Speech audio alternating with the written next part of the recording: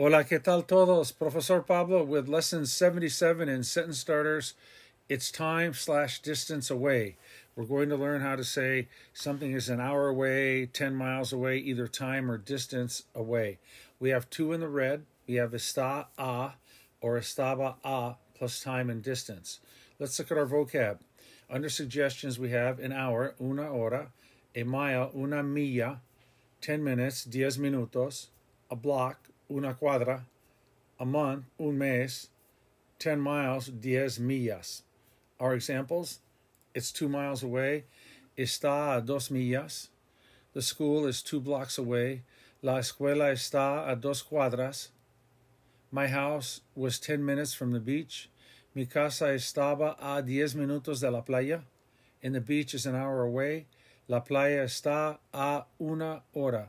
So it's estar ah. You need the ah. That means kind of away. All right?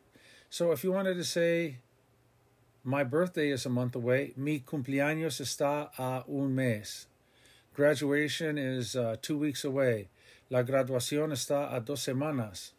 Uh, the wedding is a day away. La boda está a solo un día, just a day away, a solo un día.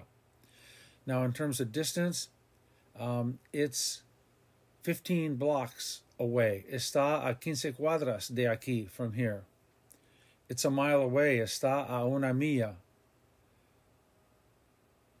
It's two hours away by plane. Está a dos horas en avión.